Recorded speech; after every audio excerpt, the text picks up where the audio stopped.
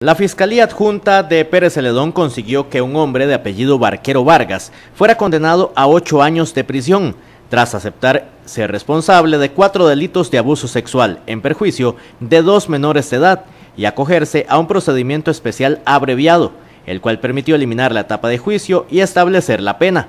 Los hechos acusados por la Fiscalía ocurrieron en Platanares de Pérez Celedón en marzo de 2016, durante la celebración en ese momento de la Semana Santa. La Fiscalía comprobó que Barquero, quien es tío político de las víctimas, aprovechó esa cercanía para cometer el ilícito. La investigación reveló que el imputado llevó a las menores de 6 y 8 años respectivamente a dar un paseo a caballo, donde aprovechó para tocarlas en sus partes íntimas, a la primera en una ocasión y a la segunda en tres oportunidades. Posteriormente, las menores le contaron lo sucedido a sus padres de familia, quienes interpusieron de inmediato la denuncia ante el Ministerio Público. Barquero permanecerá en prisión preventiva mientras la sentencia adquiere firmeza.